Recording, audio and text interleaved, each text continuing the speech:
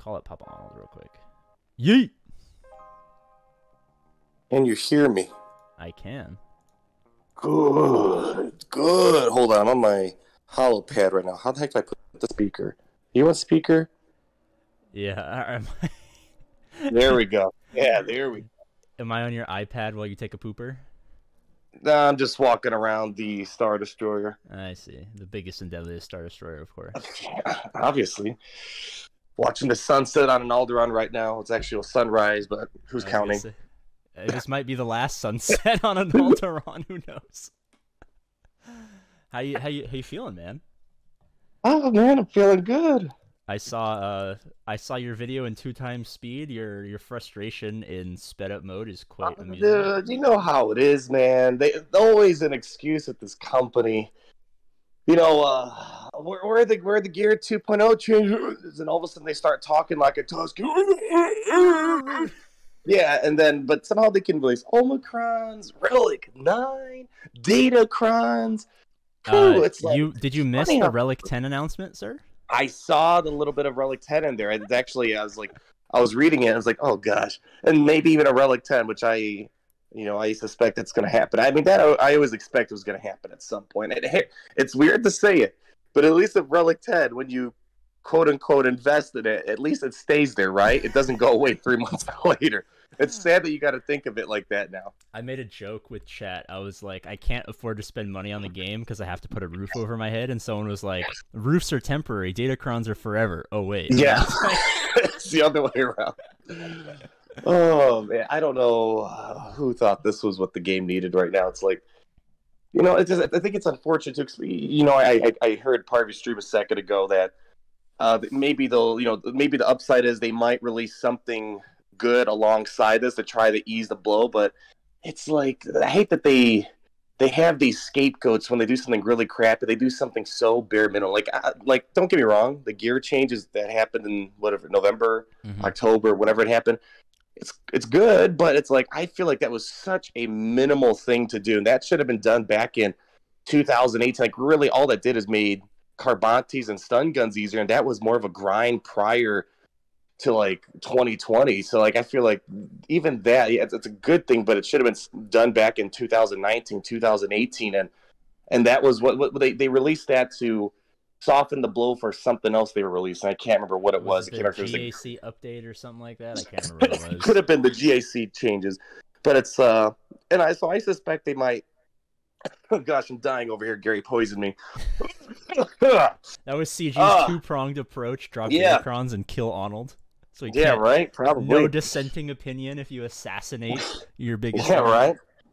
Some Oh yes, that, uh, that's it's just uh, it, it it it just kills you, man. That the the game's at a point where they do something so bare minimal in terms of improving outdated gear farming and even game modes. It's like they just do so bare minimal and then there's always an excuse why they can't do a raid why they can't do a territory battles uh, why the gear changes are taking so long to roll out.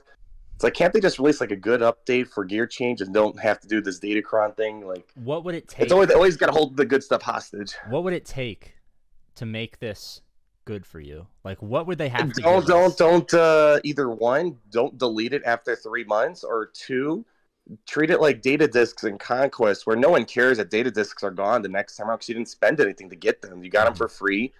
I think if anything uh, do it maybe like that where you either one they could get they 100% refund you not just a small percentage of what you did or just give them out for free. And um, you know the, the treat like just conquest data discs where i have no problem that they take it away. I didn't pay for it. You know they always want to mix it up. So i think that's that's the biggest problem. And the fact that they require new materials that most likely they'll sell and then you need relics to upgrade these as well. And then they're only going to give you some small portion back. It's just it sounds like you're leasing the game now you know where you that's, that's what i that's the analogy i made. It's like you know when you lease a car you Yeah. pay the dealership, you maintain the vehicle, you got to pay for insurance, and at the end of the day, you you don't have anything. And at and at the end of the term, they take the car back, and You're, you know. you're left with your dick in your hands. basically, yes, I think that's the Yeah, someone in chat was saying that. So, I've played Mar, uh, not Marvel Strike Force. I've played Magic the Gathering twice in my life. Both of those times were on charity streams with Capital Games employees. Right. I know for Yeah. a fact that they all love Magic the Gathering. Someone in chat said that this is exactly like something in Magic called Standard, which is like the pay to play version of Magic, where like every so often they drop a, a deck and you have to buy Mhm. it. And then like a couple months later, the old deck is banned and you can't play unless you buy the new thing. So it's literally paid to, it's not pay to win, it's paid to actually play. And they're saying this is like a carbon copy of that system, which makes sense No because they all play Magic, right? So they, Right. Yeah. I, oh, I, yeah. Yeah. When I used to meet them a couple of years ago, uh, they would always nerd out on Magic. I know they played a game that I played. It's called Star Wars Destiny, which is like Magic the Gathering, but Star Wars version. It, the game got canceled, but Mhm. uh, they're big. They're big card nerds. So yeah, I didn't know about it. That that kind of uh, kind of makes sense, I guess, if they're trying to get inspiration from something out there. At least on the cards, you physically have them still. yeah, I guess. I want to hit you with this though. I want to get your opinion on this. I'm going to show the stream one of the screenshots. It's just the it's just the bar graph explaining me like the the, the month breakdown. It's it's not too too involved. But let's say Let's- that this is how it rolls out, right? Mhm. Let's say that you free to play naturally occur enough resources somehow to get three datacrons every set, right? Let's say they drop Mhm. ten ten 10 datacrons per set. You free to play get enough to get three. You don't have to spend anything. People can spend money to get five or seven or whatever, right? But you naturally get three.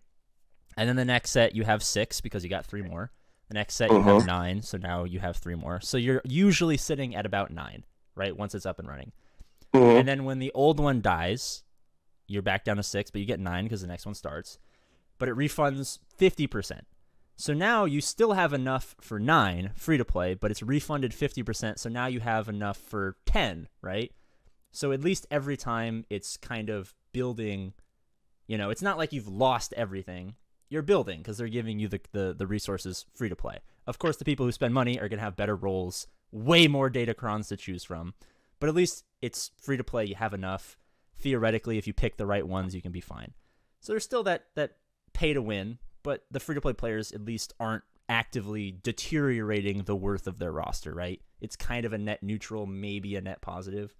If it rolls out like that, is this not the end of the world because it's not depreciating your account? You're kind of just staying the same while everyone else takes off, or like how do you think? It's hard to gonna- say. I don't know the work? scope of the power. I mean, I I, I I mean- kind of vaguely understand. Have you But the- seen the fucking screenshots, dude? Well, it's uh, like it. Well, yeah, I just it's I can Five imagine. it hundred percent health steal Ray Well, every time didn't someone play the game in 2016. In 2016, dude, mods first came out, they were absolutely broken. Like this is before even Gear 12 was a thing, and characters were already in like the hundreds of thousands of health and protection and crazy amounts of speed. Mhm. So it kind of sounds like that. Here's the problem: I don't know what that gap is going to be. Like, yes, you can do this free to play, and honestly, I find it really. I don't know, like how they how are you, how do they want to sell this to whales? Like, how is this?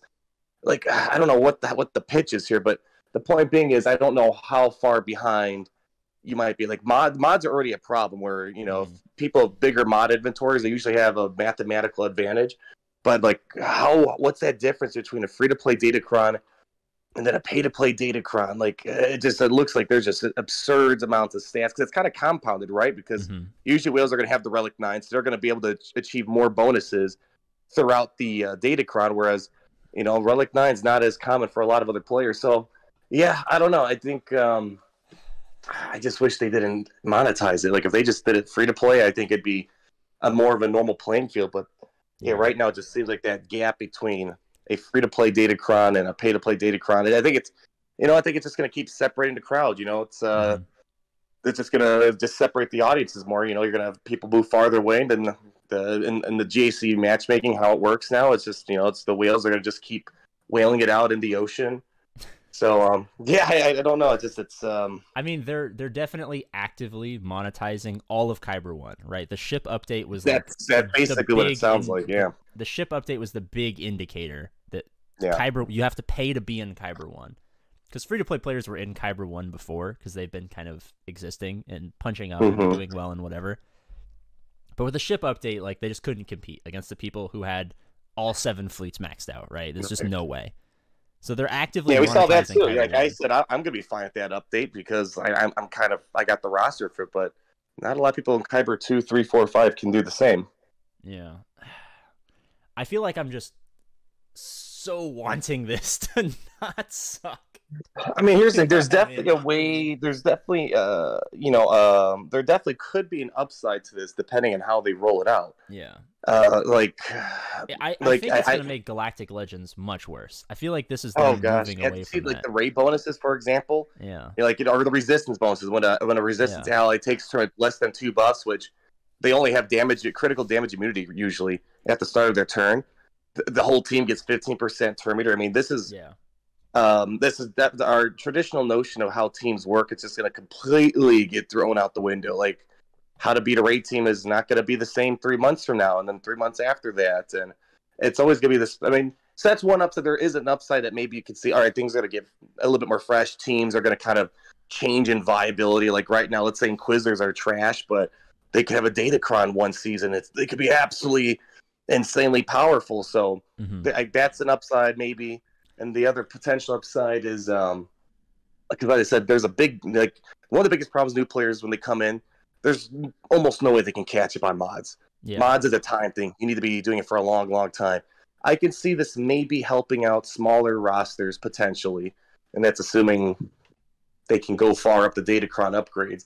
But maybe like there's a fir- like for example my free to plays empire first order focused like if they do a datacron for a season that supercharges first order you know that could be maybe beneficial so hmm um, there's definitely i can point out positives from Yeah. it but when you take the uh, situation as a whole it's a little more challenging to a similar light, I was talking a little bit before you joined about most players don't have like optimal stuff. Like they're fans of Rogue One is the example that I used on stream. It's an extreme example, but there's like people who have random stuff that maybe not synergy, maybe they just have whatever, right?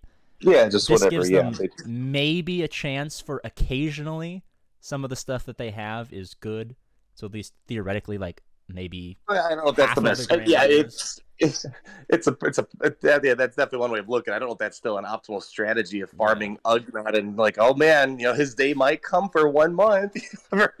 Yeah. you know. But uh, So- the, the point I was trying to make is like people who already have a bunch of random stuff. Like maybe if the set of ten Datacrons drops and there's one that happens to play to the random thing that they happen to farm, maybe they grab that one. No one else in the world is gonna grab it, but maybe they grab it because you know it applies to them, and maybe it helps out those people who are they played in 2016 and they took a three year break and they're back and they have nothing and they're kind of all over the place and they're just like, eh, well, at least this helps my and my Ewok team or whatever it is that I have. So I don't know. I was, Yeah, I- again, they they, they can definitely. I mean, the thing I'm happy about this leak is that they have a chance now to turn this around and maybe implement feedback.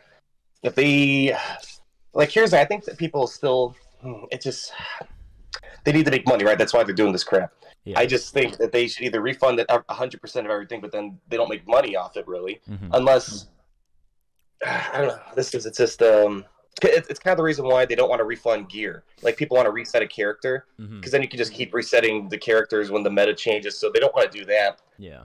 I just uh, this whole thing of um, leasing a mobile game now where you you invest resources, you only get a portion of it back. It's just Yeah. I mean, that part just doesn't settle me. But they, they could definitely turn the tide. They could turn the ship. I could see this being point. something good. I mean, one of the screenshots was the discussion questions from their server that they posted, and we asked people uh, on my, and now they have three thousand million percent the the pool of people to answer the question for them. Like, Yeah. does the effects uh, feel like exciting and unique way to upgrade your roster? Does this depreciate gear and relics? So I guess they're gonna have a much swifter and much larger answer to the questions that they were posing to their beta program. so I'm really there you go. You know what's I'm funny? really they, they, they once said way back when that they wanted the beta program to be like really open, like just have a ton of people. They like that. That was like several years ago, like 2020, 2019. They said that, and they never did that. They they still kept it to. A, it looks like 32 members based off those Slack messages. Um, it's weird. I think uh, it's weird that they don't want to open it up more. You know, it, it's going to get leaked one way or another, right? Yeah. I uh I feel like something that they struggle with PR wise is they'll announce something big and I feel like over the course of years, I think even you'll admit this, like the changes that they've made that have been extreme have been like generally positive. Mods, huge like great boost to the game itself. People were really pissed. Same with relics, same with Galactic Legends, same with even Omicrons, right? Like initially people are like, "Whoa, this is fucking crazy. This is gonna break the game," and eventually people are like, "Eh, well, this kind of makes the meta more fun." Blah blah blah. So I have a feeling that one day, at some point in the future, this will be like relics or mods or whatever. I think you're looking at it wrong. Right. I think the problem is it's we just we ended up accepting it because what other Star Wars game are you going to play right now? Yeah. Battlefront 2 is dead. Lego Star Wars, you only can do so much of that. That's the problem. The, the thing Mm. is, there is no other Star Wars game to play. So it's either this the they have a monopoly over Star Wars games right now. So it's either you know shut up and play or stop uh, talking big smack and actually quit the game. It, that's the problem. It's I'm there's plenty of things that we no do. one ever quits. no one That's ever. the thing, yeah, everyone who says they quit doesn't actually quit, which I kind of. yeah, I, I can assure you. Let's say Star Wars, what was it, Force Arena, was still alive and well. They get a lot of Star Wars characters. They had the friggin' Inquisitors before CG was even thinking about it. So Mhm. it's like imagine if that game was still around, which is it's, it's kind of a hero collector in a way. And I think the graphics look better, but even back then in 2017 compared to what the game looks today, like if there was another Star Wars game that they actually had to kind of keep their eyes peeled for and not screw up too much, I think a lot of this stuff wouldn't pass by. But this is the the only game that happens to have a Star Wars skin on it. Um, because really, at the end of the day, it's just a bunch of text in the background running code. yeah. It's not like you know that's that's all it is. It just has a Star Wars skin on it. It's like Marvel Strike Force, Disney Sorcerer, to Raid Shadow Legends. That's with a different skin. That's the only reason why people end up sucking it up and they keep going. So it's not that people. I don't think it's necessarily people, in hindsight, loved it, loved things, but it's just one of those where you you just kind of accept it because you don't really have another Star Wars outlet to get your Star Wars uh, kick out. Yeah, that's true. I mean, But there are some. There's once in a while, like like even like relics. I don't think we needed relics. What the hell did that do? All it did is just it elevated the power level, and then it just everything just comes back to an equilibrium of some sort. We could have been perfectly fine at gear 12 and gear 11 or whatever it was. It's just you know you just accept it. You know. So I don't Mhm. think I don't think relics was a thing the game needed.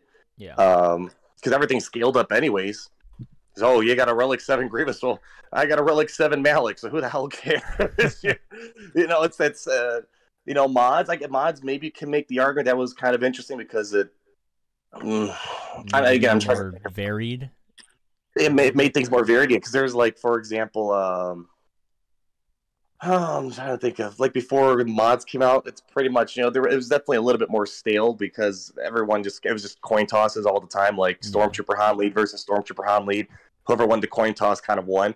So that like so maybe that was one of those things. But like relics and gear, it's like that's stuff that we don't need. That's just a money pushing thing, and all it does is just it moves the equilibrium up.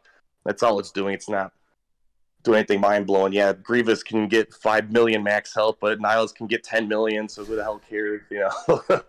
it's just that's a different change of the equilibrium. So yeah, I think really it's maybe in some situations we end up liking something post, uh, but I think a lot of it is just we just kind of accept the, the fact that you know they don't care. You know, the game's Star Wars. There's not really a competitor existing right now to kind of flock over to. And I don't think Star Wars Hunters is going to be a good competitor to Galaxy Heroes. It might be a good game, but it's, I don't think it's going to be something Yeah. CG's worried about. Like I think Force Arena was probably the one game that could have maybe been a good Galaxy of Heroes replacement if you were fed up with how the uh, Galaxy of Heroes was. Yeah, so I guess final question is do you think CG is going to change anything based on the general public outcry that this is a bad thing?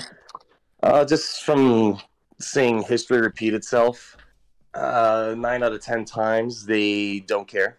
the one time they did care was when the original mods rolled out. They they actually rolled it back and they like completely dialed it back by like ninety percent. Mhm. Otherwise, they've never rolled back relics. They've never rolled back other mod upgrades they've done. They've never rolled back Zetas and Omicron so far, um, and other gear forms of gear progression. So, um, my my my mind tells me no, but my heart hopes so. Yeah, I'm I feel like I'm definitely in like the stages of grief right now trying to trying to uh bargain That's how, yeah, that's how Gallic. That's how it is with this game. You go through the, the stages of grief. Yeah, well, I guess I mean it's nine o'clock Pacific time, which means they're probably starting work in eight minutes. So I guess we might get a forum post or something from them. soon. Ooh, I don't know. I, don't I if think it was interesting that this all happened. Like it's been a couple hours. Like they've been asleep. Like they have Uh, from no what I can idea. tell, uh, the the alleged discussion I've heard is that they were busy last night. They shut down the beta program allegedly and stuff like that. So I, I think they're. Uh, oh, you think they're been- aware of this? I, oh, I think they've been aware of it for a while now. Okay, so I guess someone in the beta program has been like openly upset. I thought this was just like some guy who was secretly pissed. He's like, I don't like this. Yeah, it looks like. Um, Damn, Yeah. Crumb leaves, bro. Crumb leaves just to have one baby. You have one child, and the game goes to shit. The beta program goes to shit. This is uh, this is sad, man. you know, R.I.P. props to Crumb for sticking around for so long. Committee managers for Galaxy of Heroes don't last that long. Yeah, I know. It's a, I don't know. It's a stressful job. I feel like. I I hope they're paying him six figures, man, because this is Oh. not worth the stress. Uh, that's the poverty line here. yeah, it's so- poverty in California, so I'm, hopefully it's uh, sure mid hope so. six figures. If not, I hope he fucking leaves for his baby, dude. Like the stress got- I not getting. There's got to be something better out there, right? It's like I, I can't imagine the pay being that good for that position. There's got to be something. Like every person I've talked to that after they left this, the at least the community manager position, they all say how much life is better outside of CG. So Yeah. either paying Crumb really well, or I, I can't imagine he can't find another job opportunity out there. That the every community manager that's left, they end up working for a different game. So Yeah. I don't know. That's It- um. I just feel bad for him because it's not his fault these decisions are happening. It's he just has to he has to deal with it, and I know how it is where the community managers they get chewed out by the um the devs, the the producers, and the management. So it's um yeah, I don't envy him. I don't think I've ever envied him once. yeah. I did my interview with him a while back, and we talked more personal than actual game stuff, and uh, we had a pretty good thirty minute heart to heart about the uh, the terrible things that people say to him, and uh, you know he was on the verge of tears and stuff like that. So I definitely don't envy. yeah, I, yeah, that's why I never. Yeah, yeah, it's uh, So I guess uh, the one good thing that we got from this is hopefully Crumb is on to bigger and better things. I guess you know there's at least one upside, right? Yeah, it's um, you know, it's funny. I mean, I I- I met him back in goodness, it's been a while. When I first met him, I think it was Game Changer. No, it was the EA. What the hell they call it? It's been so long. That their stupid EA Play thing. That's what it is. I met. I think I met. It was 2017 last time. I Was Like, that I the met him for one the- where you guys were all sitting on a couch, like all eight of you guys? Mm, no, mm, I don't remember. It's the it's the one where I got almost kicked out of my hotel room. Okay. I think that I'm pretty sure that was when Thrawn was getting rolled out. Yeah. I can't remember. But anyways, that's I met him for the first time. That's when he was first brought in, and and just let's just say all the community managers. There's been several community managers that have come and gone since then, Mhm. and uh, he's the only one that's kind of like stuck around for what I could tell community community wise. Yeah. I guess that just means he has the, the, the greatest intestinal fortitude of them all. A real man's man, I guess. Hey man, I bet that's gonna be a if he ever goes does look for a new job. If they see he's been there for whatever whatever it's five years, like holy crap, man. Yeah, that, dude.